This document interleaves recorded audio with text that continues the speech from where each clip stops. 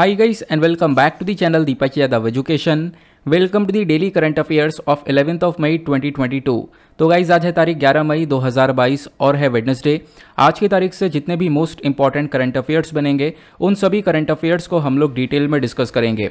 तो चलो शुभ शुभारंभ करते हैं बट उससे पहले गाइज़ अगर आप लोग को इस टॉप न्यूज़ एनालिसिस यानी टीएनए का पीडीएफ चाहिए तो क्या करना है? नीचे डिस्क्रिप्शन बॉक्स में आप सभी लोगों को पीडीएफ लिंक के नाम से एक लिंक मिल जाएगा।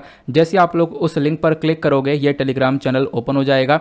यहाँ से आप लोग डेली बेसिस पर इस टीएनए के पीडीएफ को डाउनलोड कर सकते हो।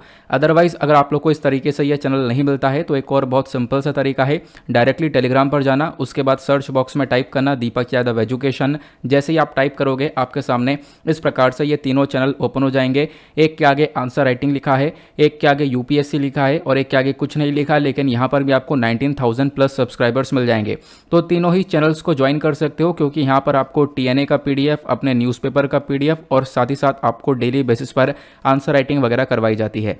एट द लास्ट अगर आप लोग मुझसे कनेक्ट होना चाहते हो तो नीचे डिस्क्रिप्शन बॉक्स में आप सभी लोगों को मेरे इंस्टाग्राम आईडी का लिंक मिल जाएगा। वहाँ पर कनेक्ट होकर आप अपनी सारी क्वेरीज को मुझसे पूछ सकते हो। नाउ स्टार्ट करेंगे डिस्कशन को। यह हमारा आज का एक सबसे इंपॉर्टेंट आर्टिकल यहाँ पे हम लोग एग्ज़ाम के पॉइंट ऑफ़ व्यू से काफ़ी सारे पॉइंट्स को इस पर्टिकुलर आर्टिकल से निकाल सकते हैं। यहाँ पे बात की जा रही है नेशनल फैमिली हेल्थ सर्वे के बारे में। तो आपको पता होगा, ये जो सर्वे है, जो सर्वेक्षण है, ये हर साल इसकी रिपोर्ट आती है। तो नेशनल फैमिली हेल्थ सर्वे का जो फोर्थ वाला था, ये पिछले साल आ चुका है। अभी हम लोग बात करें तो यहाँ पर यह पांचवा रिपोर्ट है और इस पाँचवें रिपोर्ट का ये सेकेंड फ़ेज़ है। अब इस सेकेंड फ़ेज़ के अंदर जो भी डेटा इस रिपोर्ट में लाया गया है वही डेटा हम लोग यहाँ पे डिस्कस करेंगे। जैसे इस रिपोर्ट में क्या क्या डिस्कस किया जाता है फर्टिलिटी रेट क्या चल रहा है ठीक है? आ, ये सारी चीज़ें क्या होती हैं आगे मैं आप लोग को बताऊँगा क्योंकि यहाँ पर अगर मैं बता दूँगा फिर आगे फिर से बताना पड़ेगा तो यहाँ पर थोड़ा सा और ज़्यादा टाइम वेस्ट हो जाएगा। तो आगे मैं आप लोग को थोड़ा सा कवर करवाऊँगा बस खाली आप लोग यहाँ पर ओवरव्यू लेना कि हम लोग क्या डिस्कस करने वाले हैं। तो नेशनल फैमिली हेल्थ सर्वे की पांचवी रिपोर्ट यहाँ पर डिस्कस करने वाले हैं। तो यहाँ पर आपको बेसिक सा मुद्दा देखने को मिलेगा। इस रिपोर्ट को अभी रिसेंटली में रिलीज़ कर दिया गया है। नाउ इस आर्टिकल को the Hindu Indian Express Hindustan Times Live Mint almost सारे न्यूज़पेपर्स ऑलरेडी कवर कर चुके हैं। तो यहाँ पे आप देख पाओगे द हिंदू का आर्टिकल आपको नज़र आएगा, जहाँ पे इन्होंने हेडिंग दी है कि भाई फर्टिलिटी रेट डाउन जा रहा है, लोगों के अंदर मोटापा बढ़ रहा है। तो ये इस सर्वे ने बताया है। ये सर्वे बेसिकली यहाँ पे फैमिली और हेल्थ को लेकर पूरा का पूरा यहाँ पर सर्वेक्षण होता है, जिसके बेसिस पर पूरा डेटा लेकर आते हैं। ये आप देख पाओगे, चाहो तो आप लोग यहाँ से भी रीड कर सकते हो, सारी इन्फॉर्मेशन यहाँ पर दी गई है, लेकिन इस पूरे आर्टिकल को मैंने आगे कॉपी पेस्ट कर दिया है तो बिल्कुल बेसिक से समझेंगे। यहाँ पे आर्टिकल मैंने पूरा इसलिए लगा दिया ताकि आप लोग देख सको कि हाँ जो डिस्कशन है हमारा वो बिल्कुल ऑथेंटिक वे में होता है। लेकिन यहाँ पर आप देख पाओगे, ये जो रिपोर्ट है इस रिपोर्ट के अंदर क्या क्या इन्फॉर्मेशन होती है, पहले हमें यह समझना होगा। क्योंकि ये रिपोर्ट होती क्या है, जब तक ये समझ में नहीं आएगा, तब तक आगे की कहानी समझ में नहीं आएगी। तो इस रिपोर्ट में क्या क्या होता है? तो national family health survey five वाली रिपोर्ट के बारे में बात करें तो आखिरकार ये क्या है? देखो, इस रिपोर्ट के अंदर बहुत सारी डिटेल में इंफॉर्मेशन लाई जाती है। वो इन्फॉर्मेशन कौन कौन सी हो गई? वो इन्फॉर्मेशन पॉपुलेशन से संबंधित है हेल्थ से फैमिली वेलफेयर से, खासकर फर्टिलिटी रेट हो गया family planning infant child mortality rate maternal उसके बाद चाइल्ड हेल्थ यानी कि आप कह सकते हो बच्चों की हेल्थ कंट्री के अंदर किस प्रकार से जा रही है, ठीक है? या फिर जो बच्चे हैं, उनकी पाँच साल से कम उम्र यहाँ पर कितने बच्चों की डेथ हो रही है, उसका रेशियो लेकर आना प्लस कितनी वेमेंस यहाँ पर या कितने लोग हमारे कंट्री में एनीमिया से सफ़र कर रहे हैं, ठीक है? कितने लोगों की जान जा रही है वेमेन एम्पावरमेंट कहाँ तक देखने को मिलेगा? तो ये सारी इन्फॉर्मेशन एक कंट्री के लेवल पर तैयार करके इस रिपोर्ट के अंदर दी जाती है और ये रिपोर्ट हमारे सामने लेकर आता है। और अभी देखो लेटेस्ट यहाँ पर यह है कि ये लेटेस्ट वाली रिपोर्ट है, ये पांचवी रिपोर्ट है, इसका सेकंड फ़ेज़ है। इसमें ना केवल इतनी इन्फॉर्मेशन कवर करी गई है, इसके अलावा भी यहाँ पे बहुत सारी इन्फॉर्मेशन कवर करी गई। जैसे कि यहाँ पर डेथ रजिस्ट्रेशन कितना चल रहा है, उसके बाद यहाँ पे प्री स्कूल एजुकेशन की बात करें मतलब कि कितने बच्चे यहाँ पर जो प्री स्कूल एजुकेशन के अंदर आपको पार्टिसिपेटेड देखने को मिलेंगे या कितने बच्चों का एजुकेशन मिल रहा है या नहीं मिल रहा है, ठीक है? फिर उसके बाद यहाँ पर एल्कोहल और टोबैको का यूज़ कितना हो रहा है, वो सारी चीज़ें यहाँ पर मैंशन की जाती हैं कि भाई कौन से स्टेट में यहाँ पर टोबैको का यूज़ ज़्यादा हो रहा है, कौन से स्टेट में एल्कोहल का यूज़ ज़्यादा हो रहा है तो वो पूरा का पूरा डेटा तैयार करके हमारे पास ये नेशनल फैमिली हेल्थ सर्वे लाता है। बताने का मकसद यह है कि आप लोग समझ सको कि आखिरकार ये रिपोर्ट क्या है और क्या चीज़ ये लेकर हमारे सामने आती है। फिर उसके बाद ये जो यहाँ पर national family health survey five है, ये हम लोग को यहाँ पर इन्फॉर्मेशन काफ़ी सारी प्रोवाइड करवाता है कि भाई हमारे पास इतना सारा डेटा आ जाएगा कि हाँ आखिरकार देश में चल गया रहा है इन इन चीज़ों को लेकर। तो उसके बेसिस पर हम लोग क्या कर सकते हैं, अपनी प्रोग्रेस को ट्रैक कर सकते हैं कि हम लोग यहाँ पर प्रोग्रेस कर रहे हैं या नहीं कर रहे हैं। ऑब्वियसली बात है, अगर यहाँ पर हालात ख़राब होते रहे होंगे जैसे कि आप लोग कह सकते हो जो अल्कोहल कंजम्पशन है वो बढ़ रहा होगा टोबैको कंजम्पशन बढ़ रहा होगा, ठीक है? बच्चों की डेथ ज़्यादा हो रही होगी। तो मतलब हम लोग प्रोग्रेस में है ही नहीं प्रोग्रेस नहीं कर रहे हैं। तो क्या है हमारे पास? काफ़ी सारी इन्फॉर्मेशन है, उसी को देख के तो हम लोग ट्रैक कर पा रहे हैं, ठीक है? तो यही इन्फॉर्मेशन हमारा काम ये करती है कि हम लोग इसको देख के ट्रैक कर सकते हैं कि हम लोग प्रोग्रेस में हैं या नहीं है, ठीक है? हम लोग अपने सस्टेनेबल डेवलपमेंट गोल्स की तरफ़ बढ़ रहे हैं या नहीं बढ़ रहे हैं? सस्टेनेबल डेवलपमेंट गोल जो कि सत्रह गोल हैं, जो कि हमें दो हज़ार तीस तक अचीव करने हैं। काफ़ी बार आपने इसके बारे में पढ़ रखा है। क्लियर हुआ? तो ये यहाँ पर आपको देखने को मिल जाएगा। उसके बाद ये जो नेशनल फैमिली हेल्थ सर्वे है, ये फोर वाली जो रिपोर्ट है, ये 2015-16 में आई थी, ठीक है? ये आप लोग देख पाओगे। उसके बाद national family health survey five वाली रिपोर्ट 2019 से 21 के बीच में आप लोगों को ये देखने को मिल जाएगी। तो यहाँ पर बोला गया कि हम लोग दोनों को कंपेयर करेंगे कि हाँ पिछले बार से अब की बार में क्या क्या आपको इंप्रूवमेंट देखने को मिलेगा क्या क्या प्रोग्रेस यहाँ पर हुआ है। क्लियर हुआ? तो आपने यहाँ पर ये सारी बातें समझ लिया कि आखिरकार इस रिपोर्ट के अंदर क्या होता है। अब, ये जो लेटेस्ट रिपोर्ट आई है, इस रिपोर्ट के अंदर में क्या क्या फाइंडिंग्स हैं? मतलब कि यहाँ पर इस रिपोर्ट ने क्या क्या डेटा दिया है, इसको एक एक करके डिस्कस करते हैं। यहाँ से आर्टिकल बेहद इंपॉर्टेंट होने वाला है। सबसे पहला पॉइंट यहाँ पर इस रिपोर्ट के अंदर कवर किया जाता है टोटल फर्टिलिटी रेट पहले तो हमें ये कॉन्सेप्ट समझना होगा, ये टोटल फर्टिलिटी रेट होता क्या है? देखो, मान लो यहाँ पर एक वेमेन है, इस वेमेन की यहाँ पर जो उम्र है, वो 15 से 49 के बीच की जो उम्र है, ये उम्र ऐसी होती है जहाँ पर जो एक वेमेन है, वो बच्चे को जन्म दे सकती है। तो इस पूरी एज के अंदर, इस पूरे स्पैन ऑफ़ टाइम के अंदर में एक वेमेन ने कितने बच्चों को जन्म दिया है, वो हमारा टोटल फर्टिलिटी रेट कहलाता है, ठीक है? तो यहाँ पर आप देख पाओगे, बोला गया ओवरऑल अगर हम लोग टोटल फर्टिलिटी रेट को देखें तो यहाँ पे डिक्लाइन हुआ है। जो नेशनल फैमिली हेल्थ सर्वे चार वाला था, अभी मैंने आपको दोनों को बीच में बताया कि हाँ दोनों के बीच में कंपैरिजन किया गया है। तो जो हमारे पास जो चार वाला, पिछला सर्वे है और जो अभी नया वाला सर्वे है, दोनों के बीच का डिफरेंस देखें तो पहले टोटल फर्टिलिटी रेट ये 2.2 हुआ करता था। ये कम होकर 2.0 हो चुका है मतलब कि एक वेमेन पहले यहाँ पर ज़्यादा बच्चों को जन्म दे रही थी, अब यहाँ पर जो वेमेन है, उन्होंने बच्चों को कम जन्म दिया है या फिर आप कह सकते हो पॉपुलेशन थोड़ी सी डाउन हुई है। क्लियर हुआ? अब उसके बाद आप देख पाओगे जो हाईएस्ट और लोएस्ट फर्टिलिटी रेट है वो कहाँ कहाँ पर देखने को मिला है? तो बिहार और मेघालय। यहाँ पे सबसे ज़्यादा हाईएस्ट फर्टिलिटी रेट है, यहाँ पर सबसे ज़्यादा बच्चों ने जन्म लिया है, ठीक है? उसके बाद जो सिक्किम और अंडमान निकोबार आइलैंड है, यहाँ पर जो फर्टिलिटी रेट है वो काफ़ी लोवेस्ट देखने को मिला है, काफ़ी डाउन देखने को मिला है। अब एरिया वाइज बात करें तो मतलब गाँव और शहर के हिसाब से बात करें तो जो हमारे गाँव वाले एरियाज़ हैं, यहाँ पर जो टोटल फर्टिलिटी रेट है वो कम हुआ है, ठीक है? इनफैक्ट यहाँ पर भी आप देख पाओगे कम होता हुआ नज़र आया है। यहाँ पे कंपेयर किया गया 1992 से लेकर 2020-21 के बीच में तो 1992 और 1993 के बीच में जो ये टोटल फर्टिलिटी रेट है वो 3.7 का हुआ करता था। मतलब कि एक वीमेन 3.7 बच्चों को जन्म दे रही थी। ठीक है? लेकिन यहाँ पर आप देख पाओगे, ये 2019 से 20-21 के बीच में यहाँ पे ये 2.1 हो जाता है। तो गाँव वाले एरिया में ये फर्टिलिटी रेट कम हुआ है और शहर वाले एरिया में भी बहुत ज़्यादा ये कम हो चुका है। पहले 2.7 था तो यहाँ पर ये 1.6 हो चुका है। अब कम्युनिटी वाइज बात करें तो यहाँ पर जो मुस्लिम्स का फर्टिलिटी रेट है, वहाँ पर एक शार्पेस्ट डिक्लाइन देखने को मिला है। सभी रिलीजियस कम्युनिटी में ऐसा यहाँ पर इस रिपोर्ट ने बताया।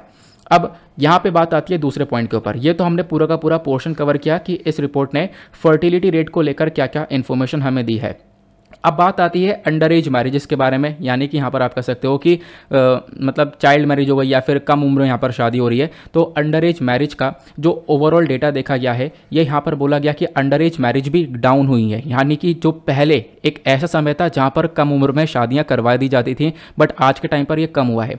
ये भी हमारा जो national family health survey five है इसके अकॉर्डिंग बात करें तो एक टाइम पर लगभग 26.8 परसेंट के आसपास यहाँ पर ये मैरिज हुई थी, ठीक है? लगभग 18 साल से कम उम्र के अंदर, यानी अंडर एज मैरिज हुई थी। लेकिन अभी यहाँ पर ये 26 परसेंट से कम होकर 23 परसेंट पहुँच चुका है, ये यहाँ पर बताया गया। तो national family health survey four के अंदर ये डेटा बीस प्रतिशत के आसपास का था। अभी यहाँ पर फाइव के अंदर आप देख पाओगे, ये सत्रह प्रतिशत तक का पहुँच चुका है।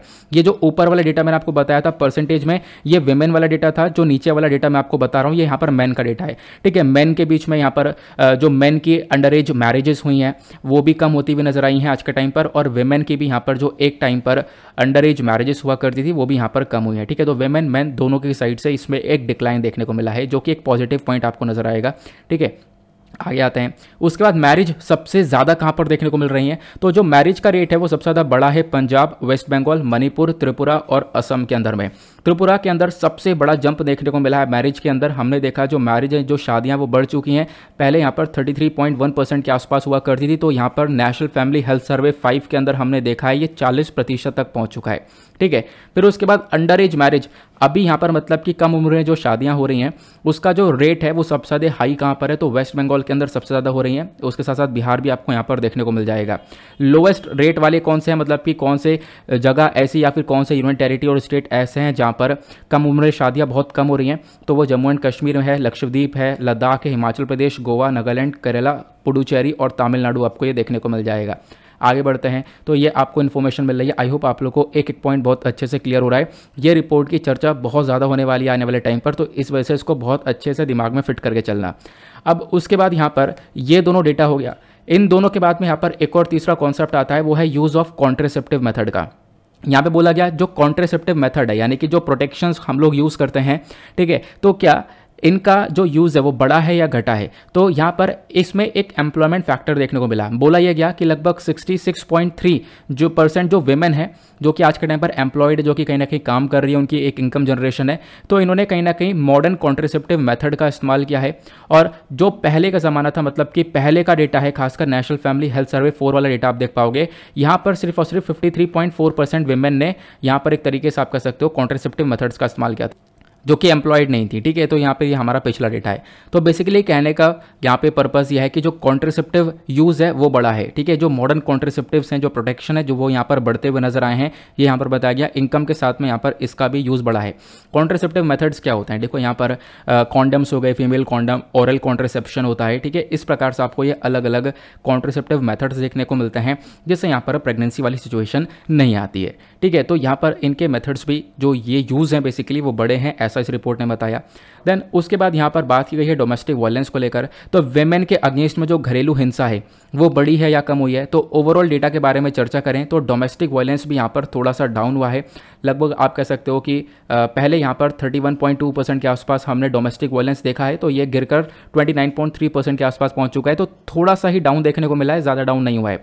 लेकिन आज के टाइम पर भी बहुत सारे राज्य ऐसे हैं जहाँ पर सबसे ज़्यादा वेमेन के अगेंस्ट में घरेलू हिंसा होती है। तो वह राज्य कौन कौन सा है? तो यहाँ पर सबसे ज़्यादा जो डोमेस्टिक वायलेंस होता है, वो कर्नाटका के अंदर है 48 परसेंट के आसपास का। उसके बाद बिहार, तेलंगाना, मणिपुर और तमिलनाडु आपको देखने को मिलेगा। लक्षद्वीप एक ऐसा एरिया है जहाँ पर डोमेस्टिक वायलेंस बहुत ही ज़्यादा कम है, लगभग 2.1 प्रतिशत के आसपास का ये आप देख पाओगे। फिर उसके बाद दूसरा टॉपिक उठाया गया इंस्टीट्यूशनल बर्थ का। इंस्टीट्यूशनल बर्थ का मतलब यहाँ पर यह है कि देखो, पहले के टाइम पर क्या हो रहा था कि जो बच्चा है, बच्चा यहाँ पर जन्म ले रहा था घर के अंदर ही, ठीक है? घर के अंदर ही यहाँ पर होम डिलीवरी की जा रही थी। अब यहाँ पर क्या है फोकस ये किया जाता है कि भाई जो यहाँ पर वीमेंस हैं, वो अपने बच्चे को यहाँ पर जो भी जन्म दे रही हैं, वो हेल्थ केयर सेंटर्स के अंदर दें, ठीक है? हॉस्पिटल्स के अंदर में जाएँ, वहाँ पर बच्चा जन्म ले। तो उसी को हम लोग बोलते हैं इंस्टीट्यूशनल बर्थ क्योंकि अगर घर पर यहाँ पर डिलीवरीज वगैरह की जाती हैं तो वो रिस्की भी हो जाता था। उसमें यहाँ पर काफ़ी सारे हमने केसेस देखे हैं जहाँ पर या फिर वेमेन की जान चली गई है, या फिर बच्चे की जान चली गई है। तो इसके लिए इंस्टीट्यूशनल बर्थ को बढ़ावा मिलना चाहिए। तो इंस्टीट्यूशनल बर्थ बड़े हैं या कम हैं तो इसके ओवरऑल डेटा को बात बात करें तो यहाँ पर भी इसके अंदर भी बढ़ोतरी देखने को मिली है। तो 79 से लेकर सॉरी यहाँ पर आप देख पाओगे, पहले 79 परसेंट के आसपास का इंस्टीट्यूशनल बर्थ हुआ करता था। मतलब इतनी ज़्यादा बर्थ जो है हॉस्पिटल्स में हो रही थी, लेकिन अब ये एटी परसेंट के आसपास हो चुका है। ठीक है? ये आपको क्लियर हो जाना चाहिए। यहाँ पे एरिया वाइज भी चर्चा की गई है, लेकिन आप लोग ओवरऑल ध्यान रखोगे तो वो ज़्यादा बेहतर रहेगा, ज़्यादा डेटा आप लोग ध्यान नहीं रख पाओगे, मुझे पता है। फिर उसके बाद यहाँ पर एक और पॉइंट आता है। वो पॉइंट है स्टंटिंग का। स्टंटिंग एक ऐसी सिचुएशन है जहाँ पर आप कह सकते हो कि बच्चे की जो उम्र है, उसकी उम्र के हिसाब से उसकी जो हाइट है वो बहुत ज़्यादा कम है। यहाँ पर एक स्टंटिंग की कैटेगरी कहलाती है। तो जो लेवल ऑफ़ स्टंटिंग है बच्चों के अंदर, वो बड़ी या कम हुई है तो ये भी यहाँ पर थोड़ा सा कम होता हुआ नज़र आया। थोड़ा सा ही कम हुआ है। पहले अड़तीस परसेंट था तो छत्तीस परसेंट हुआ है। मतलब देखो, ये सिचुएशन कब आती है? मतलब बच्चे के उम्र के हिसाब से उसकी हाइट कम है, कब आती है सिचुएशन सिचुएशन तब आती है जब उसको एक प्रॉपर खाना ना मिला हो। उसकी बॉडी में प्रॉपर न्यूट्रिशन ना गया हो, ठीक है? यहाँ पर वो कुपोषण का शिकार बना हुआ हो, तभी उसके बॉडी के अंदर ये हालत आएगी कि यहाँ पर अपनी उम्र के हिसाब से वेट कम है या फिर हाइट कम है है ना? तभी सिचुएशन आएगी। लेकिन ये क्या है? ये चीज़ें इंप्रूव हुई हैं थोड़ा सा। पहले ये ज़्यादा हुआ करता था, ये स्टैंडिंग अभी कम हुई है, ये हमारे पास इन्फॉर्मेशन निकल कर आती है। फिर उसके बाद दूसरा टॉपिक उठाया गया ओबेसिटी का। ओबेसिटी मतलब मोटापा। तो national family health survey four के अंदर बात करें, जो ओबेसिटी है, वो कम हुआ करती थी, लेकिन ओबेसिटी यहाँ पर बढ़ गई है। आखिरकार हमने काफ़ी सारी चीज़ों के अंदर इंप्रूवमेंट किया। लेकिन जो यहाँ पर आप देख पाओगे, ये काफ़ी बड़ा बदलाव देखने को मिलेगा कि लोगों के अंदर वज़न बढ़ रहा है, लोगों के अंदर मोटापा बढ़ा है, भारत के अंदर मोटापा बढ़ा है। ठीक है, अगर ये मोटापा वेमेन के अंदर में पहले 21 परसेंट हुआ करता था तो आज के टाइम पर ये 24 परसेंट है। और पहले वाली रिपोर्ट में मैन के अंदर में ये जो फैट है या फिर मोटापा है, वो 19 परसेंट हुआ करता था तो आज के टाइम पर वो 23 परसेंट है। तो यहाँ पर मोटापा इंक्रीज हुआ है, ये यहाँ पर इस रिपोर्ट ने मैंशन किया। फिर उसके बाद इस रिपोर्ट ने लास्ट में कुछ और चीज़ें भी मेंशन करी हैं। सस्टेनेबल डेवलपमेंट गोल्स को लेकर कुछ चीज़ें हमें बताई हैं। इन्होंने बोला कि देखो, जो ये national family health survey five आपको देखने को मिल रहा है, ये बेसिकली हमें पूरा का पूरा देखने को मिल रहा है। एक ओवरऑल इंप्रूवमेंट की तरफ़ बढ़ता है। इसका मेजर काम यह है कि हम लोग अपने सस्टेनेबल डेवलपमेंट गोल्स को अचीव कर सकें। और इसको देखते हुए हमने ये देखा है कि भाई, जो वेमेन का पार्टिसिपेशन है वो बड़ा है। पहले यहाँ पर वेमेन को इतना हक नहीं मिला करता था अपने घरों में बट यहाँ पर ये पार्टिसिपेशन इंक्रीज होता हुआ नज़र आया है। जो वेमेन का डिसीज़न है मतलब कि वो मायने रख रहा है आज के टाइम पर, ठीक है? बहुत सारे डिसीज़न लिए जाते हैं वेमेन की हेल्थ केयर अपने अपने हेल्थ केयर का ध्यान रखने के लिए वो डिसीज़न खुद ले पा रही है। घर के अंदर जो खरीदारी कर रही है, उसका डिसीज़न ले पा रही है, ठीक है? अपने फैमिली और रिलेटिव्स को विज़िट करना है, नहीं करना है, उसका डिसीज़न ले पा रही है, ऐसा इस रिपोर्ट ने बताया।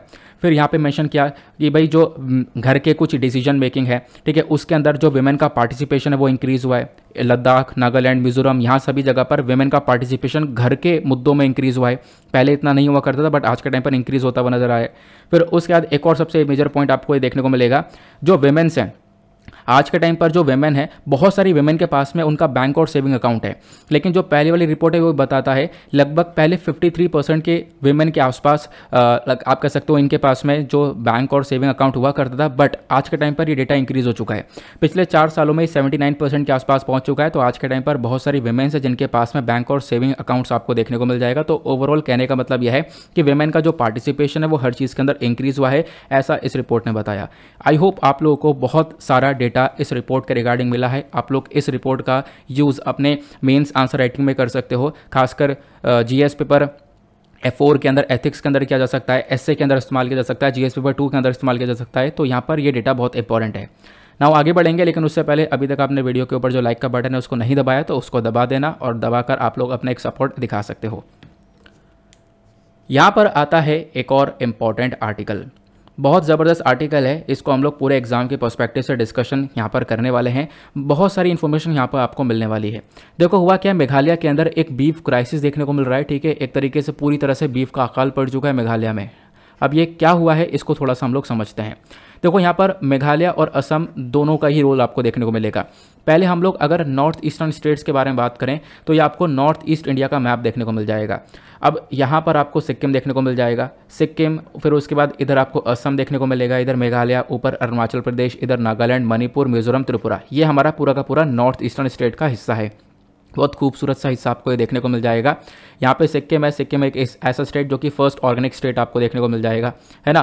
फिर उसके बाद यहाँ पर चिकन नेक आता है, जिसको हम लोग सिलीगुड़ी कॉरिडोर के नाम से भी जानते हैं। चिकन नेक आपको देखने को मिल जाएगा, जो कि हमारे पूरे नॉर्थ ईस्टर्न स्टेट्स को भारत के साथ में कनेक्ट करता है। इस वाले पोर्शन को हम लोग बोलते हैं चिकन नेक अब यहाँ पे आपको मेघालय को देखना है। मेघालय का मैप आता है यहाँ पर ये।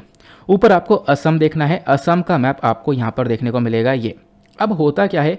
बहुत सारा जो सामान मेघालय के अंदर आता है, खासकर जो बीफ की अगर हम लोग यहाँ पर आर्टिकल में बात करें तो बीफ का एग्ज़ाम्पल लेते हैं। अब जो ये बीफ वगैरह है, वो मेघालय के अंदर आता है। अब जब आता है तो ये असम से होता हुआ आता है। अब असम से होता हुआ मेघालय में आता है, लेकिन असम ने इसी बीफ के ट्रांसपोर्टेशन के ऊपर रोक लगा दी है, जिसकी वजह से मेघालय के अंदर ये बीफ नहीं पहुँच रहा और इसकी वजह से क्राइसिस आ चुका है, एक बीफ क्राइसिस मेघालय के अंदर में। तो ये तो हमने बात करी है टू द पॉइंट। लेकिन इसके पीछे का कारण क्या है? क्योंकि असम अपने आप में ही एक एक्ट को लेकर आ चुका है। एक एक्ट जो कि बहुत पुराना था, लेकिन उसमें पिछले साल अमेंडमेंट किया गया है। आपको शायद पता होगा, इसके बारे में हमने पिछले साल डिस्कस किया था। असम के पास में एक एक्ट है, Assam cattle preservation amendment act 2021 आपको दिख रहा होगा, ये एक अमेंडमेंट एक्ट है। हालाँकि ये पहले 1950 में लेकर आया जा चुका है पहले ही, लेकिन इसमें पिछले साल ये अमेंडमेंट किया गया था। इसमें एक संशोधन या बदलाव किया गया था। वो बदलाव क्या था, वो भी आगे हम डिस्कस करेंगे। बट अभी आप लोगों ने इतना समझा। आई होप आप लोगों को ये समझ में आ रहा है। देन उसके बाद यहाँ पर एक और छोटा सा क्वेश्चन आप लोगों से बनता है। असम की कैपिटल क्या है, नीचे कमेंट सेक्शन में लिखना और साथ ही साथ मेघालय की कैपिटल क्या है, वो भी आपको नीचे कॉमेंट सेक्शन में लिखना है। तो होता क्या यहाँ पर? असम के पास में काउ प्रोटेक्शन लॉज हैं। वो लॉ आपको ये देखने को मिलेगा, जो कि असम के अंदर ये वाला लॉ है। इस असम के अंदर ये जो लॉ है लागू किया गया है और लगभग आप कह सकते हो पिछले साल इसको लाया गया था, जिसकी वजह से मेघालय के अंदर ये बीफ क्राइसिस देखने को मिल रहा है। ये यहाँ पर ये रिपोर्ट बताती है। प्लस आपको ये भी ध्यान रखना है, जो ये नॉर्थ ईस्टर्न स्टेट्स हैं, यहाँ पर बहुत सारा जो मीट है, वो कंज्यूम किया जाता है, ठीक है? बहुत अलग अलग प्रकार के यहाँ पर मीट कंजम्पशन देखने को मिलता है, ठीक है? लगभग बहुत सारे मीट यहाँ पर कंज्यूम किया जाता है। अब यहाँ पर आप देख पाओगे, ये भी मैंशन किया जा रहा है कि देखो यहाँ पे ये चीज़ें नोट करने वाली बात है कि जो नॉर्थ ईस्टर्न स्टेट्स हैं, जैसे अरुणाचल प्रदेश, मेघालय, मिजोरम, नागालैंड हो गया, यहाँ पर कोई ऐसे लॉ नहीं देखने को मिलेंगे जहाँ पर कैटल स्लॉटर को रोका जाए। ठीक है, जहाँ, यहाँ पे एक तरीके से जो गौरक्षा कानून है वो नहीं देखने को मिलेगा कैटल स्लॉटर को नहीं रोका जाता है, यहाँ पर आराम से जो है बीफ का कंजम्पशन वगैरह देखने को मिलता है। लेकिन असम ने इस प्रकार का एक्ट लाया था जहाँ पर बीफ के कंजम्पशन को रोक दिया गया था, इसको पूरी तरह से बैन कर दिया गया था। अब असम के इसी एक्ट की वजह से आज के टाइम पर मेघालय में ये क्राइसिस देखने को मिल रहा है। आगे कवर करते हैं इसको हम लोग, थोड़ा डिटेल से हम लोग चलेंगे। यहाँ पे आप देख पाओगे, पहले मैं आप लोग को असम के इस बिल के बारे में समझा देता हूँ। देखो, असम का जो ये वाला एक्ट है बिल था पहले, फिर पास होकर एक्ट बना। इस एक्ट का पहले एक बार ऑन नाम बता देता हूँ ताकि आप लोग ध्यान रखना। Assam cattle preservation amendment act 2021 तो पिछले साल यहाँ पर इसके अंदर एक अमेंडमेंट हुआ था। अब इस बिल के फीचर्स क्या हैं और इसमें दिक्कतें क्या हैं? फीचर्स की बात करें तो सबसे पहला फीचर आता यह है कि ये जो एक्ट है ये कहीं ना कहीं स्लॉटर ऑफ़ काउस यानी कि भाई आप लोग यहाँ पर काउ को तो बिल्कुल नहीं मार सकते, ठीक है? स्लॉटरिंग ऑफ़ काउ को यहाँ पर पूरी तरह से रोक दिया जाता है। मतलब पूरी तरह से काउ को यहाँ पे मारकर जो खाया जा रहा है, उसको पूरी तरह से बैन कर दिया गया, इसको पूरी तरह से प्रोहिबिट कर दिया इस एक्ट ने।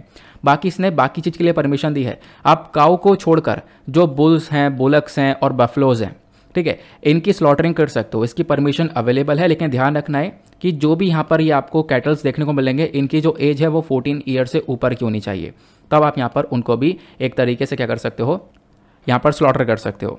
लेकिन फिर साथ ही साथ यहाँ पर ये एक्ट ये बोलता है कि ये असम के अंदर लागू होता है और असम यहाँ पर यह बोलता है कि इस एक्ट के लागू होते ही जो इंट्रा स्टेट और इंटर स्टेट है मतलब कि अपने राज्य के अंदर में जो भी बीफ का ट्रांसपोर्टेशन हो रहा है, यानी कैटल का जो भी ट्रांसपोर्टेशन हो रहा है, क्योंकि यहाँ पर बुल्स बुलक्स और बफलोज को अलाउ किया गया है तो अगर इनका ट्रांसपोर्टेशन होता है राज्य के अंदर में तो राज्य के अंदर भी, भी ट्रांसपोर्टेशन नहीं किया जा सकता और राज्य से दूसरे राज्य में भी ट्रांसपोर्टेशन नहीं किया जा सकता। तो इंटर स्टेट और इंटर स्टेट दोनों भी यहाँ पर रोक दिए गए तो आप लोग कहीं से इधर से उधर तक नहीं ले जा सकते इस बीफ को। ये यहाँ पर बोला गया। हालाँकि कुछ लोकेशंस पर परमिशन दी गई आप वहीं पर थोड़ा सा ट्रांसपोर्टेशन कर सकते हो उसके अलावा नहीं कर सकते कहीं पर भी। ऐसा असम ने इसके ऊपर एक बैन लगाया। देन उसके बाद यहाँ पर आप देख पाओगे फिर इसका यहाँ पर एक फीचर ये भी था कि जो भी इंपॉर्टेंट अथॉरिटीज़ होंगी, वो क्या करेंगी? वो इन कैटल्स को एक तरीके से पूरा इंस्पेक्ट करेंगी, ठीक है? अच्छे से देखभाली करेंगी मतलब पूरे एक्ट को अच्छे से इंप्लीमेंट किया जाएगा, उसको इंस्पेक्ट किया जाएगा। उसके साथ साथ यहाँ पर कैटल है तो उसको सीज़ किया जाएगा। अगर मान लो कोई व्हीकल्स वगैरह का इस्तेमाल किया जा रहा है तो ठीक है तो यहाँ पर व्हीकल्स को सीज़ वगैरह कर लिया जाएगा। मतलब ट्रांसपोर्टेशन अगर हो रहा है, क्योंकि एक्ट लागू है, इसके बावजूद भी ट्रांसपोर्टेशन वगैरह हो रहा है तो उसको यहाँ पर सीज़ कर लिया जाएगा व्हीकल को भी सीज़ कर लिया जाएगा और स्टेट गवर्नमेंट को दे दिया जाएगा। ठीक है? तो बेसिकली यहाँ पर ये ट्रांसपोर्टेशन को रोक देते हैं। फिर उसके बाद यहाँ पे बोला गया, ये तो कुछ फीचर्स हुए। अब इसी बिल के अंदर सॉरी इस एक्ट के अंदर बार बार मैं बिल बोल रहा हूँ, इस एक्ट के अंदर काफ़ी सारी प्रॉब्लम्स भी आपको देखने को मिल जाएँगी। सबसे पहला इशू क्या है? कि भाई आप लोग, आप देख पाओगे, ये जो एक्ट है, ये एक अनुचित तरीके से यहाँ पर लिमिट लगाता है इस चीज़ के ऊपर। ठीक है? इससे क्या होगा, जो नॉर्थ ईस्टर्न रीजन है, वहाँ पे ट्रांसपोर्टेशन नहीं हो पाएगा। क्योंकि यहाँ पर जो एक तरीके से मैंने आपको अभी जो मैप दिखाया है, इस वाले मैप में आप देख पाओगे, असम से कनेक्टिविटी बनती है काफ़ी सारी जगह पर। अब असम ही यहाँ पर इसको पूरी तरह से इसके ऊपर रोक लगा देगा ट्रांसपोर्टेशन के ऊपर रोक लगा देगा तो असम से यहाँ पर इन नॉर्थ ईस्टर्न स्टेट्स के अंदर ये जो बीफ है, ये सब नहीं पहुँच पाएगा। तो ये यहाँ पर बोला गया कि भाई सबसे बड़ी इसमें इशू जो है वो ये आपको देखने को मिल जाएगा। फिर उसके बाद यहाँ पर ये बोलते हैं, ये जो एक्ट है, ये रोक लगाता है कैटल ट्रांसपोर्टेशन के ऊपर में। असम से आप दूसरे राज्य में यहाँ पर ट्रांसपोर्टिंग नहीं कर सकते हो तो ये भी एक बहुत बड़ी प्रॉब्लम आपको देखने को मिल जाएगी, क्योंकि तो यहाँ पे अगर असम के अंदर बैन किया गया तो आप लोग ही तो इस एक्ट को लागू कर रहे हो। ठीक है, दूसरे राज्य के अंदर तो ये एक्ट लागू नहीं हुआ है ना, वहाँ पर तो स्लॉटरिंग को रेगुलेट नहीं किया जा रहा है ना तो आप लोग यहाँ पर उस वाले राज्य के अंदर बीफ जाने से क्यों रोक रहे हो? तो ये यहाँ पर एक इशू देखने को मिल जाता है, ठीक है? तो ये कुछ यहाँ पर इशूज़ ही बताए गए हैं इस पर्टिकुलर एक्ट को लेकर। फिर यहाँ पर बोला गया कि जो हमारे काउ स्लॉटर इसको क्यों बैन किया गया, ठीक है? काउ स्लॉटरिंग को आखिरकार क्यों बैन किया गया है, यहाँ पर इसको थोड़ा सा हम लोग समझते हैं। क्योंकि जब आप लोग यहाँ हमारा कॉन्स्टिट्यूशन देखते हो, हमारे संविधान के अंदर जो डी पी हैं directive principles of state policy इसका आर्टिकल 48 यहाँ पर खुद बोलता है कि भाई यहाँ पर क्या करना है? हम लोग को स्टेप्स उठाने हैं प्रजर्व यानी सुरक्षा करने प्रोटेक्शन करने के लिए और इम्प्रूव करने के लिए जो हमारी एनिमल ब्रीड्स हैं उनको। साथ ही साथ हम लोगों को जो काउस की स्लॉटरिंग हो रही है, इसको रोकना है प्रोहिबिट करना है। काउस हो गए काफ्स हो गए, और भी जहाँ पे मिल्स यानी दुधारू जो एनिमल्स है, वो हो गए।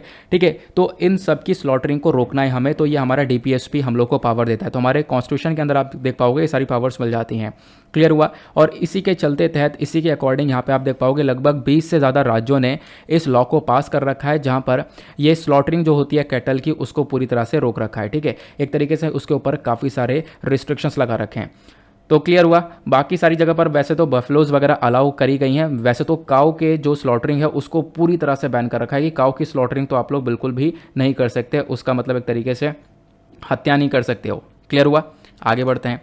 अब इस पूरे मामले के अंदर में, इस पूरे के पूरे बीफ क्राइसिस के अंदर में जुडिशरी का क्या रोल रहा है, इसको भी थोड़ा डिस्कस करते हैं। देखो, समय के साथ में क्या हुआ? ये जो प्रोहिबिशन है लगातार बढ़ता रहा, बहुत सारे राज्यों ने ये रोक लगा दी और आज के टाइम पर मैंने आपको बताया, बीस से ज़्यादा राज्य इसको लागू कर चुके हैं और जिन्होंने बैन लगा रखा है, इन सब चीज़ों के ऊपर, जो काउ की स्लॉटरिंग वगैरह, उसको रोक रखी है और काफ़ी सारी जगह पर और भी बहुत सारे जो भी प्रोडक्ट्स हैं, उनको बैन कर रखा है।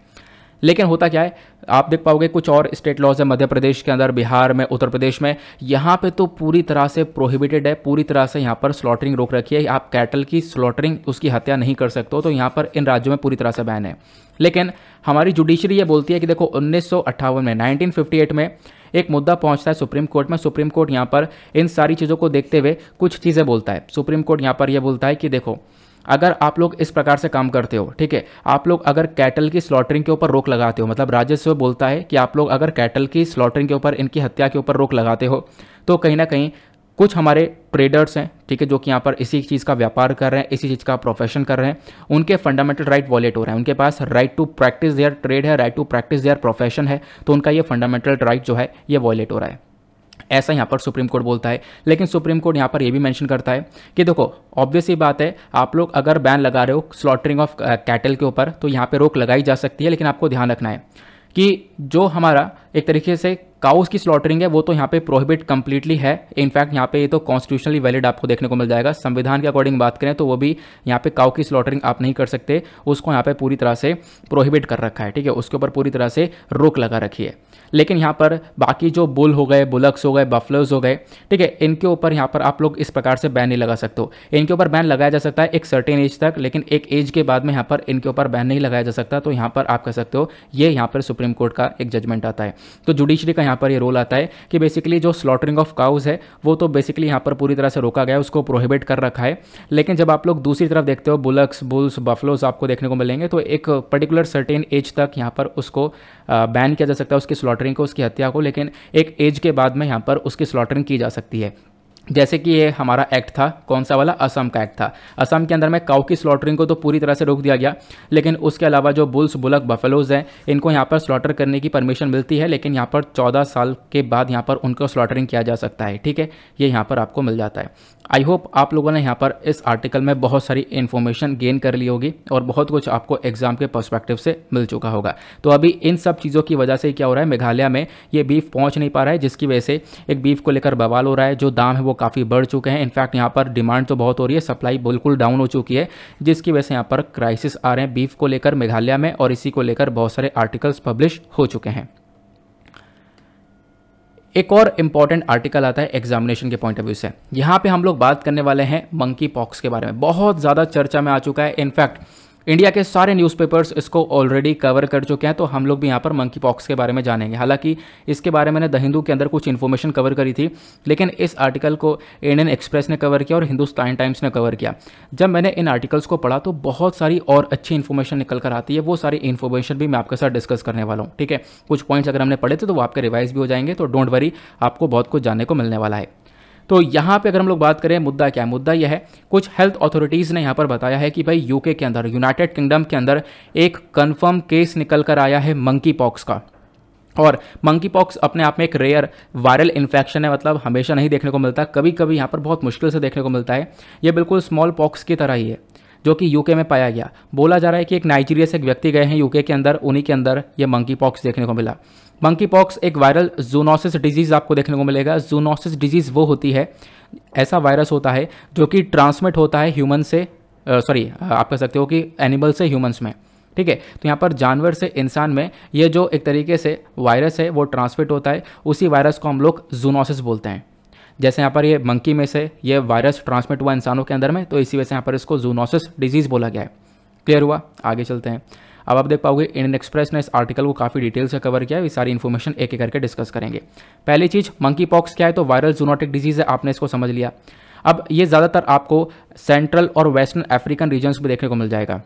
जो हमारा पूरा का पूरा अफ्रीकन कॉन्टिनेंट है, यहाँ पे आपको बहुत सारे countries Democratic Republic of Congo देखने को मिलेगा। ठीक है, इसके आसपास आपको कॉन्गो देखने को मिलेगा तांजानिया जाम्बिया एंगोला ये सारी यहाँ पर कंट्रीज़ आपको देखने को मिल जाती हैं। तो इन्हीं कंट्रीज़ में सबसे ज़्यादा ये मंकी पॉक्स के केसेस देखने को मिलते हैं। नाउ ये जो मंकी पॉक्स वायरस इन्फेक्शन है, इसको यहाँ पर डिटेक्ट किया जाता है न केवल मंकी के अंदर में, उसके अलावा राइट्स के अंदर, ठीक है? कुछ यहाँ पे मंकी की अलग अलग प्रजातियाँ उसके अंदर भी देखा गया है स्क्विरल्स के अंदर भी देखा गया है। तो मंकी के अलावा भी यहाँ पर बहुत सारे जानवरों के अंदर ये वायरस पाया जाता है। नाउ ये जो मंकी पॉक्स है, ये मंकी पॉक्स वायरस की वजह से होता है। तो मंकी पॉक्स बीमारी का नाम है डिज़ीज़ का नाम है। और ये जो बीमारी होती है एक वायरस की वजह से होती है। उस वायरस को हम लोग मंकी पॉक्स वायरस बोलते हैं। ठीक है, ये जो वायरस है, ये एक तरीके से मेंबर है ऑर्थोपॉक्सी वायरस जीनस का, जो कि कौन सी फैमिली से बिलोंग करता है? पॉक्सी वेरेडे तो पॉक्सी वेरेडे फैमिली से बिलोंग करने वाला ये मंकी पॉक्स वायरस आपको देखने को मिल जाएगा, जिससे मंकी पॉक्स बीमारियाँ फैल रही हैं। अब, इस मंकी पॉक्स का इतिहास क्या रहा है, इसको डिस्कस करते हैं। सबसे पहला यहाँ पर आप देख पाओ उसका बैकग्राउंड तो मंकी पॉक्स जो इन्फेक्शन है, ये सबसे पहली बार डिस्कवर किया गया था 1958 में। ठीक है? और उसके बाद आप लोग देख पाओगे, तभी से हम लोग इस मंकी पॉक्स के बारे में काफ़ी सारी इन्फॉर्मेशन जानते हैं। इसके लक्षण के बारे में चर्चा करें तो मंकी पॉक्स अगर किसी व्यक्ति को अफेक्ट करता है, किसी व्यक्ति के अंदर ये इन्फेक्शन फैलता है तो उसकी वजह से यहाँ पर उसके फीवर हो जाता है उसको, ठीक है? बुखार हो जाता है रैशेस हो जाते हैं प्लस जो लिम्फ नोट्स होते हैं, वो भी यहाँ पर स्वेलिंग में देखने को मिल जाते हैं। इस प्रकार से आप देख पाओगे, यहाँ पर एक स्वेलिंग वगैरह भी देखने को मिलती है। अब बात करते हैं ट्रांसमिशन की तो ये फैलता कैसे है? तो मंकी पॉक्स वायरस ज़्यादातर जो ट्रांसमिट होता है, वो यहाँ पर एक तरीके से जानवर से इंसान में ट्रांसमिट होता है। लेकिन हमने यहाँ पर केसेस देखे हैं कि हाँ ह्यूमन टू ह्यूमन ट्रांसमिशन भी हो जाता है तो इंसान से इंसान में भी ट्रांसमिट होता है। लेकिन वैसे तो यहाँ पे जो वायरस है, ये एक तरीके से जानवर से, जो रोडेंट्स होते हैं प्रेमेट्स होते हैं, उनसे इंसानों में ट्रांसमिट होता है। रोडेंट्स जैसे कि रोडेंट्स में यहाँ पर हमारा चूहा हो गया, ठीक है? चूहा के अलावा रैट ब्रेन हो गया, इस प्रकार से अलग अलग जानवर हैं। प्रेमेट्स के अंदर आपको यहाँ पर ये मंकी देखने को मिल जाएगा। उसके बाद यहाँ पर ये आपको देखने को मिल जाएगा माउस लेमोर देखने को मिल जाएगा। तो इन जानवरों से क्या होता है? इंसान में ये वायरस आ जाता है और फिर इंसानों से इंसान में भी यहाँ पर ये फैल जाता है। अब ये तो हमने समझ लिया कि हाँ जानवरों से इंसान में आ जाता है। लेकिन इंसान से इंसान में कैसे आ सकता है, ये भी हमें समझाओ। देखो, जो पहला ह्यूमन केस है ना, ये 1970 में रिकॉर्ड किया जाता है कहाँ पर? डेमोक्रेटिक रिपब्लिक ऑफ़ कॉन्गो के अंदर। तो पहला पंकी पॉक्स का केस 1970 में हम लोग को मिलता है। और उस समय पर हम लोग लगे पड़े थे स्मॉल पॉक्स को ख़त्म करने के लिए। ठीक है स्मॉल पॉक्स के मतलब आपने देखा होगा स्मॉल पॉक्स एक ज़माने में बहुत ज़्यादा ये फैला करता था और स्मॉल पॉक्स की तरह ही है आपको ये मंकी पॉक्स भी देखने को मिल जाता है। काफ़ी सिमिलैरिटीज़ यहाँ पर नज़र आती हैं। अब यहाँ पे जो मंकी पॉक्स वायरस है, ये ट्रांसमिट होता है एक व्यक्ति से दूसरे व्यक्ति में। ये ह्यूमन टू ह्यूमन ट्रांसमिट भी हो सकता है, लेकिन यहाँ पर बॉडी फ्लूड्स की वजह से या फिर एक क्लोज कॉन्टैक्ट होता है यहाँ पर मेल फीमेल का तो उसमें भी यहाँ पर ये वायरस ट्रांसमिट हो सकता है। ठीक है, उनका जो इन्फेक्टेड रेस्पिरेटरी ट्रैक्ट है, उसके थ्रू यहाँ पर ये ट्रांसमिट हो सकता है। तो काफ़ी सारी चीज़ें हैं जिसके बेसिस पर दो व्यक्ति के बीच में ये ट्रांसमिट हो सकता है। अब इस मंकी पॉक्स का इंक्यूबेशन पीरियड कितना देखने को मिलेगा? मतलब कि मान लो आज ही व्यक्ति इन्फेक्ट हुआ, उसको यहाँ पर सिम्टम्स यानी लक्षण कब से देखने को मिलेंगे? तो इसके बीच का जो ये इंक्यूबेशन टाइम पीरियड है time from infection to symptom तो इन्फेक्शन जब हुआ है, उससे बाद यहाँ पर कब लक्षण देखने को मिले हैं, उसके बीच का जो टाइम पीरियड है, वो हमारा इंक्यूबेशन पीरियड कहलाता है। तो वो इंक्यूबेशन पीरियड मंकी पॉक्स में सात से चौदह दिन का आपको देखने को मिल जाएगा। ठीक है? सात से चौदह दिन का है और इसको बढ़ाकर मतलब इसकी जो रेंज है, वो पाँच से इक्कीस दिन के आसपास भी हो सकती है कि आपको पाँच दिन पे मतलब इन्फेक्शन हुआ है, लेकिन क्या है आपको सिम्टम्स जो है, काफ़ी दिनों बाद पता चल रहे हैं। उसके बाद यहाँ पे फैटेलिटी रेट के बारे में चर्चा करें मतलब कि अगर मतलब किसी को मंकी पॉक्स अफेक्ट करता है तो क्या उसकी जान बचती है चली जाती है? तो यहाँ पे बोला गया देखो, जो फैटेलिटी रेट है, वो यहाँ पर ये बोलता है कि लगभग मान लो अगर दस व्यक्ति को ये अफेक्ट करता है तो दस व्यक्ति में से यहाँ पर एक व्यक्ति की जान चली जाती है, ऐसा यहाँ पर बोला गया, ठीक है? तो ये आप लोग यहाँ पर ध्यान रख सकते हो। तो मतलब कि डेथ वगैरह होती हैं इस मंकी पॉक्स की वजह से भी, और जो ज़्यादातर डेथ वगैरह हमने देखी हैं, वो यंगर एज ग्रुप्स के अंदर देखें, जो जवान लोग हैं, उन्हीं के अंदर यहाँ पर ज़्यादा डेथ हुई है इस मंकी पॉक्स की वजह से। क्लियर हुआ? आगे आते हैं। फिर उसके बाद यहाँ पर आप देख पाओगे जो बुश मीट वगैरह है, इससे भी मंकी पॉक्स वगैरह फैल जाता है, इसका मीट वगैरह देखने को मिलता है। फिर अब इसका ट्रीटमेंट क्या हो सकता है? क्या उपाय है इसका? तो कुछ हमारे पास प्रेजेंटेशन है, वो यहाँ पर ये बोलते हैं कि देखो मंकी पॉक्स के लिए हम लोग एक वैक्सीन का इस्तेमाल कर सकते हैं, जो हम लोग स्मॉल पॉक्स के लिए करते हैं। लेकिन हुआ क्या है? स्मॉल पॉक्स हम लोग पहले ही खत्म कर चुके हैं दुनिया भर से। स्मॉल पॉक्स को खत्म किया जा चुका है दुनिया भर से 1980 में। तो स्मॉल पॉक्स को खत्म करने के लिए हमने एक वैक्सीन का इस्तेमाल किया था वैक्सीन या वैक्सीन का। अब ये जो वैक्सीन है, इसने काफ़ी अच्छे तरीके से काम किया। और यही वैक्सीन क्या कर सकती है? हमारे मंकी पॉक्स को भी खत्म कर सकती है। इसके अगेंस्ट में यहाँ पर एक प्रोटेक्शन दे सकती है। लेकिन हो क्या रहा है? स्मॉल पॉक्स बहुत लंबे समय पहले हमने खत्म कर दिया तो उसके बाद आज के टाइम पर इस वैक्सीन के ऊपर इतना काम किया नहीं जाता। इस वैक्सीन का भी यहाँ पर एक बहुत बड़ा आपको शॉर्टेज देखने को मिल जाता है। फिर उसके बाद बताया गया, एक और नई थर्ड जनरेशन जो वैक्सीन या वैक्सीन है, इसके ऊपर यहाँ पर काम किया जा रहा है, इसको अप्रूव हम लोग कर चुके हैं, जो कि स्मॉल पॉक्स को ठीक करता है और मंकी पॉक्स को भी ठीक करता है। तो बेसिकली हमारे पास वैक्सीन है अवेलेबल और इसी का हम लोग यूज़ करके मंकी पॉक्स को ठीक कर सकते हैं। प्लस कुछ एंटीवायरल एजेंट्स है, जिसके ऊपर और भी काम किया जा रहा है, इसको भी डेवलप किया गया है तो आप लोग यहाँ पर ये ध्यान रख सकते हो। ये कुछ हमारे पास ट्रीटमेंट है मंकी पॉक्स को लेकर। आगे आते हैं नेक्स्ट आर्टिकल की तरफ़। अगला आर्टिकल ये भी हमारा जीएस पेपर थ्री एनवायरमेंट के पॉइंट ऑफ़ व्यू से इंपॉर्टेंट हो जाएगा। यहाँ पे हम लोग बात करने वाले हैं मगर क्रोकोडाइल के बारे में। मगर क्रोकोडाइल यानी मगरमच्छ के बारे में यहाँ पर चर्चा करेंगे। ये आर्टिकल चर्चा में है क्योंकि हमने देखा कि जो वाटर ट्रेन है, यानी कि पानी से भरी हुई जो ट्रेन है ऑब्वियसली बात है तेल भी जाता है ट्रेन के अंदर, पानी भी जाता है ट्रेन से। तो बहुत सारा जो ये पानी है, वो ट्रेन से पहुँचाएगा राजस्थान के पाली में, क्योंकि वहाँ पर जो तीन सौ पचास मगर क्रोकोडाइल हैं, वो यहाँ पर मर रहे थे सूखे की वजह से। ठीक है तो यहाँ पर पानी पहुँचाया गया ताकि इन मगरमच्छ को बचाया जा सके। तो ये तो हो गया हमारा बेसिक सा मुद्दा जो कि हमने समझा है, इसी वजह से चर्चा में है। अब आपको इसी के रिगार्डिंग काफ़ी सारा डेटा कवर कर लेना है, क्योंकि एग्जामिनेशन में पूछ लिया जाता है। तो सबसे पहली चीज़ यहाँ पर ये जो मगर और मार्च क्रोकोडाइल है, इसको हम लोग मगर और मार्च क्रोकोडाइल बोलते हैं। ये आपको राजस्थान के पाली में देखने को मिल जाएगा, जहाँ पे यहाँ पे पानी पहुँचाया जा रहा है। इस मगरमच्छ का साइंटिफिक नेम क्या है? तो इसका नाम है क्रोकोडाइलस पैलिस्ट्रस डिस्क्रिप्शन में बात करें तो यहाँ पर एक अंडा देने वाला आपको ये मगरमच्छ देखने को मिल जाएगा। इसको हम लोग डेंजरस भी बोलते हैं मतलब कि काफ़ी खतरनाक भी आपको देखने को मिल जाता है। प्लस हैबिटेट के बारे में चर्चा करें तो ये जो क्रोकोडाइल है, ये आपको ज़्यादातर साफ़ पानी में देखने को मिलेगा। और भूटान के अंदर और म्यांमार में ये ऑलरेडी प्रजाति ख़त्म हो चुकी है एक्सटिंक्ट हो चुकी है वहाँ से। तो अभी इंडिया के अंदर ये कुछ प्रजाति बची हुई है तो इसको भी एक प्रोटेक्शन की आवश्यकता है। खतरा क्या है? इसको देखो, खतरा यह है कि इसका जो एरिया है जहाँ पे पाया जाता है, वो एरिया अभी खतरे में है। उस एरिया में लगातार उसको बर्बाद किया जा रहा है। फिशिंग एक्टिविटीज़ करी जा रही हैं वहाँ पर, ठीक है? और क्रोकोडाइल का शिकार कर लिया जाता है, क्योंकि क्रोकोडाइल के कुछ हिस्से हैं जो कि मेडिसिन पर्पज़ के लिए इस्तेमाल किए जाते हैं। तो इसी वजह से यहाँ पर इसको सबसे बड़ा खतरा देखने को मिल जाएगा। प्रोटेक्शन स्टेटस के बारे में बात करें तो आईयूसीएन जो लिस्ट है हमारी, उसके अंदर ये वलेबल कैटेगरी के अंदर आता है। वलेबल कैटेगरी का मतलब है बहुत खतरे में है। अगर इस प्रजाति को नहीं बचाया गया तो ये मगर प्रजाति खत्म हो जाएगी जल्दी। और वाइल्ड लाइफ प्रोटेक्शन एक्ट 1972 के अंदर में शेड्यूल वन के अंदर डाला गया कि भाई इसका आप लोग व्यापार वगैरह भी नहीं कर सकते अगर करते तो आपके ऊपर पेनल्टी वगैरह चल जाएगी। ठीक है? तो यहाँ पर आप लोग देख पाओगे इस प्रकार से इसको एक प्रोटेक्शन देने के बारे में चर्चा की जा रही है, क्योंकि ऑलरेडी ये प्रजाति काफ़ी खतरे में है।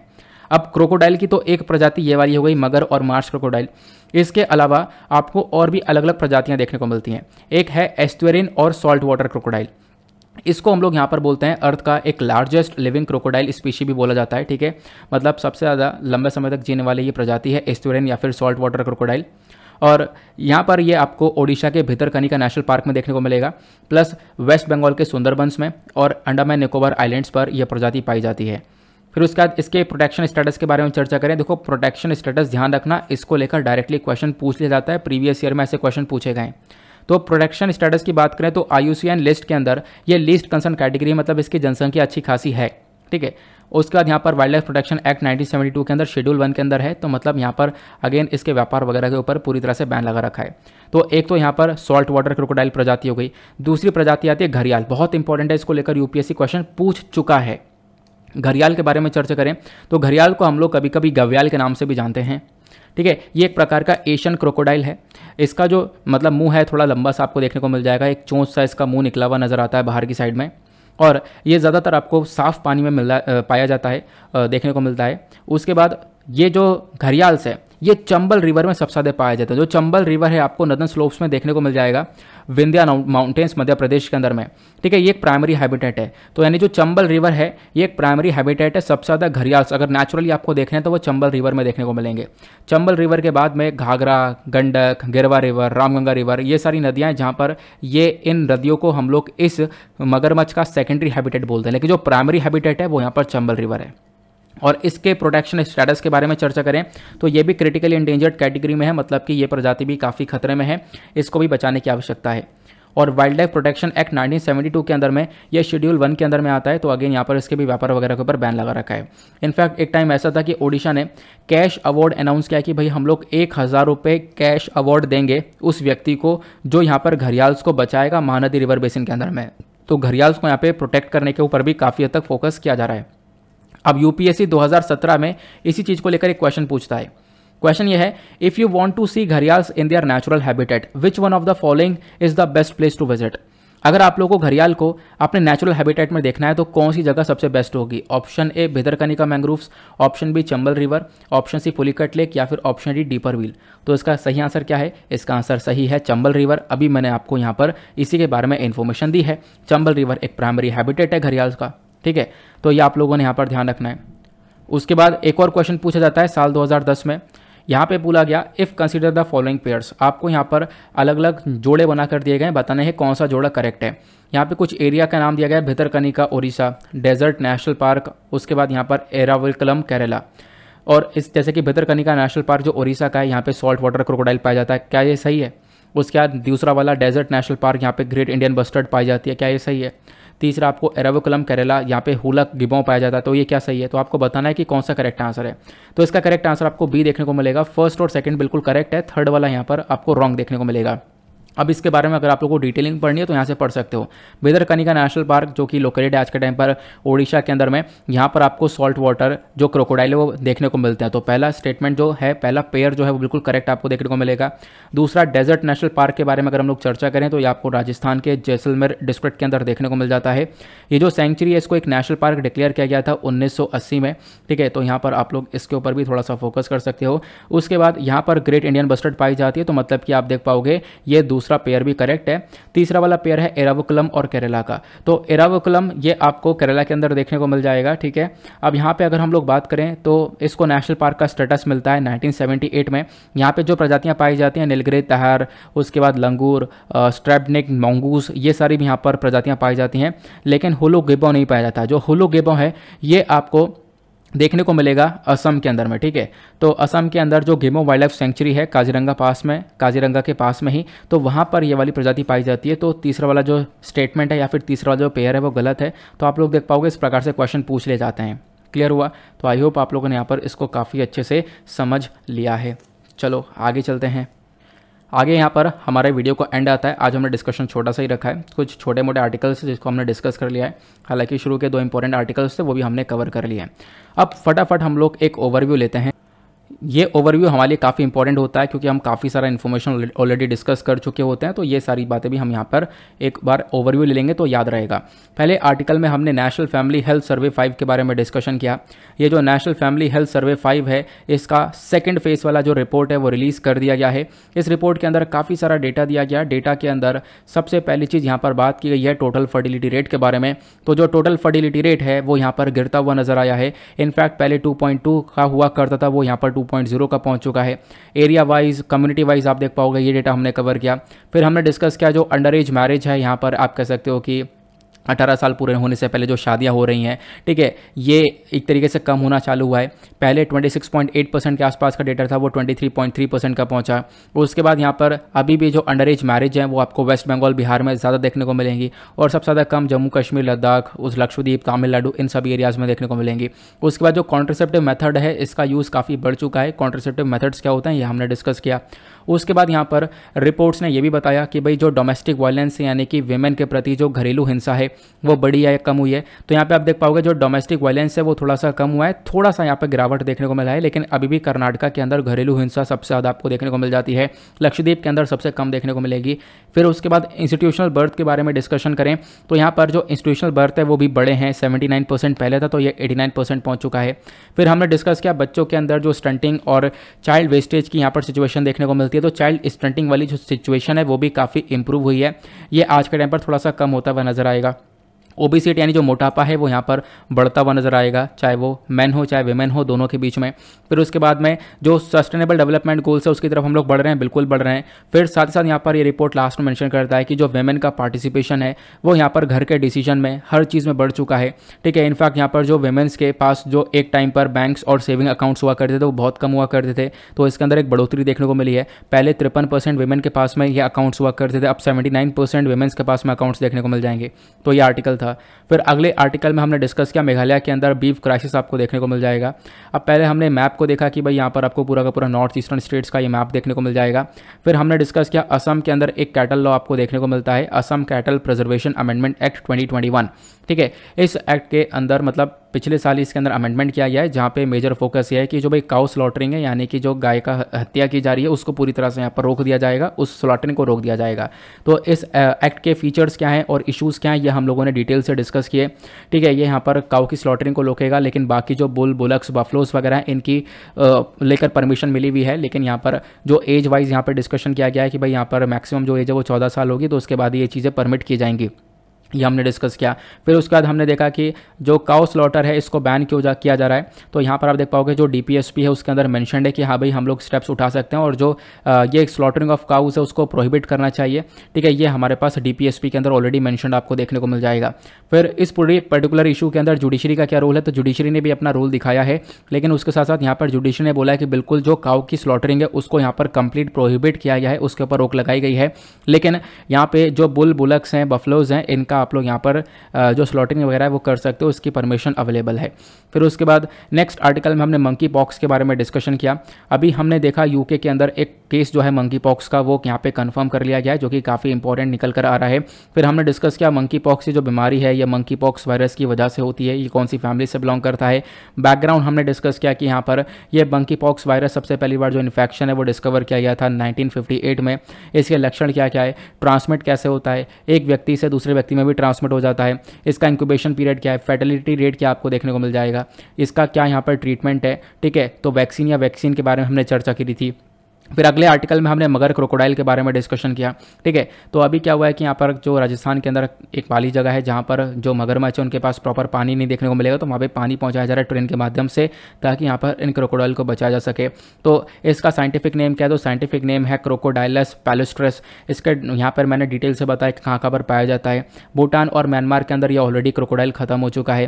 फिर हमने इनके प्रोटेक्शन स्टेटस के बारे में चर्चा की है। फिर क्रोकोडाइल के और भी बाकी सारी प्रजातियों के बारे में डिस्कशन किया। सॉल्ट वाटर क्रोकोडाइल के बारे में जाना तो सॉल्ट वाटर क्रोकोडाइल कहाँ पे पाया जाता है? उसके बाद इसका प्रोडक्शन स्टेटस क्या है? घरियाल्स के बारे में हम लोगों ने जाना, ठीक है? घरियाल्स यहाँ कहाँ पे पाया जाता है? इसका प्रोडक्शन स्टेटस क्या है? ठीक है इनफैक्ट ओडिशा ने इसके ऊपर एक कैश अवार्ड भी अनाउंस कर रखा है, यह हमने डिस्कस किया। फिर यूपीएससी ने 2017 में क्वेश्चन पूछा था, वो हमने डिस्कस किया। फिर 2010 में क्वेश्चन पूछा गया था, वो भी हम लोगों ने यहाँ पर डिस्कस किया हुआ है। देन उसके बाद में अच्छा एक आर्टिकल और रह गया हमारा तो रिवीजन के टाइम पर आ चुके हैं, कोई बात नहीं, यहाँ पर इसको भी डिस्कस कर लेते हैं।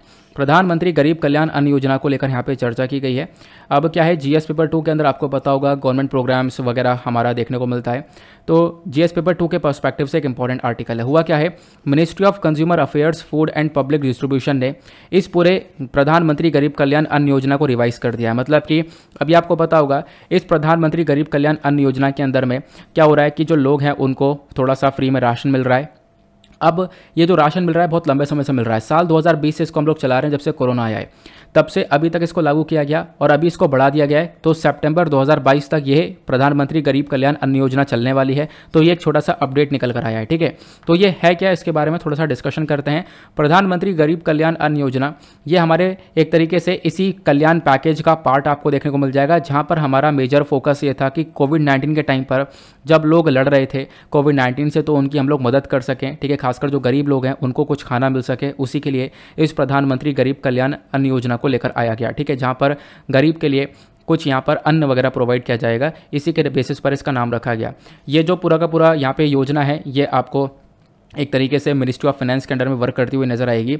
उसके साथ साथ यहाँ पर ये आप देख पाओगे, इसके अंदर इनिशियली यहाँ पर इसको अनाउंस किया गया था अप्रैल में जून के टाइम पर, साल 2020 में। और लगभग 80 करोड़ राशन कार्ड होल्डर्स को यहाँ पर कवर किया गया। फिर इसके बाद इसको बढ़ा दिया गया नवंबर 2020 तक और इसी प्रकार से मतलब कि पहले अप्रैल, मई, जून तीन महीने के लिए लेकर आए, फिर बढ़ाकर दिसंबर नवंबर 2020 तक पहुँचा। फिर उसके बाद phase one two three four करके चलता रहा और ये स्कीम तब से साल 2020 के अप्रैल से अभी तक चलती हुई नज़र आ रही है। नौ अब फिर से बढ़ा दिया गया है। अब सेप्टेम्बर दो में, यानी कि यही मैंने इन्फॉर्मेशन आपके साथ में कवर करी है कि अब मई से लेकर सेप्टेम्बर दो तक ये इसी प्रकार से फ्री में राशन आपको मिल जाएगा। ठीक है, ये यहाँ पर इस प्रधानमंत्री गरीब कल्याण अन्न योजना का एक अपडेट आपको देखने को मिलेगा। अब इसके अंदर कुछ डिटेलिंग्स हैं। ये जो स्कीम है, इसका जो मेजर मकसद यहाँ पर यह है कि हर एक व्यक्ति जो आपको देखने को मिलता है, जिसको नेशनल फ़ूड सिक्योरिटी एक्ट 2013 के अंदर में कवर किया गया है।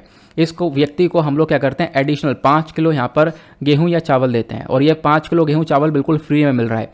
मतलब जो पाँच किलो उसको राशन में सामान मिल रहा है। पब्लिक डिस्ट्रीब्यूशन सिस्टम से आपको पता होगा, जो राशन मिल रहा है पाँच किलो, वो तो अलग है। उसके अलावा हटकर एडिशनल वे में पाँच किलो ये गेहूँ, चावल दिया जा रहा है सरकार की साइड में, इस पर्टिकुलर योजना के अंदर में। ये आपको ध्यान रखना है। लेकिन यहाँ पर अभी एक चेंज हो चुका है। चेंज यह है कि साल 2020 में एक बहुत बड़ी चीज़ ये भी थी कि सरकार एक किलो यहाँ पर दाल वगैरह भी दे रही थी। एक किलो दाल या चने वगैरह भी दे रही थी फ्री ऑफ़ कॉस्ट में। लेकिन अब जो यहाँ पे बढ़ोतरी देखने को मिली है इस स्कीम के अंदर में, इस योजना के अंदर में तो अब यहाँ पर दाल वगैरह नहीं मिल रही है, लेकिन पाँच किलो आपको जो गेहूँ, चावल मिल रहे थे वो यहाँ पर वो फ्री ऑफ़ कॉस्ट दिए जा रहे हैं। खर्चे के बारे में चर्चा करें तो सरकार का कितना एक्सपेंडिचर बताया जा रहा है। तो फ़ेज़ वन से लेकर फिफ्थ के अंदर, यानी कि शुरू के जो ये पाँच फ़ेज़ हैं, इन पाँचों फ़ेज़ के अंदर जो सरकार का खर्चा है वो लगभग 2.60 लाख करोड़ के आसपास का है, ऐसा यहाँ पर एक डेटा हम लोगों के साथ में बोलता है, ठीक है? तो आई होप आप लोगों ने यहाँ पर इस प्रधानमंत्री गरीब कल्याण अन्न योजना के बारे में भी जान लिया। तो एक छोटा सा आर्टिकल था, इसी वजह से मैंने यहाँ पर ये भी कवर कर दिया है। नाउ इसी के साथ करते हैं हम लोग अपने लेक्चर को समाप्त और मिलते हैं आप लोगों से नेक्स्ट वीडियो में। आज के लिए bye have nice day thank you and जय हिंद।